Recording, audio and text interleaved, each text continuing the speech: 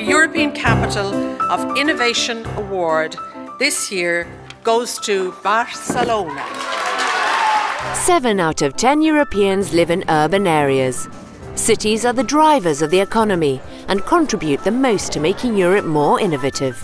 After the success of the first edition of the European Capital of Innovation Award, the European Union is launching a second, even more ambitious edition. The award will celebrate the city which is building the best innovation ecosystem. This innovation ecosystem should connect citizens and policymakers in a built environment through business. Applicant cities will be judged on how ongoing and future initiatives create the right environment to innovate.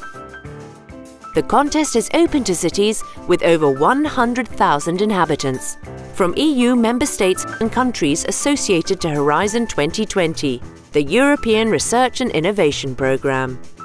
The European Capital of Innovation Prize will help the winner expand its innovation activities.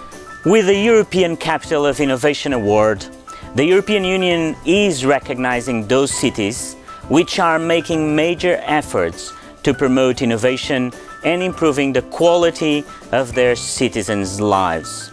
So don't forget, apply to become the next European Capital of Innovation.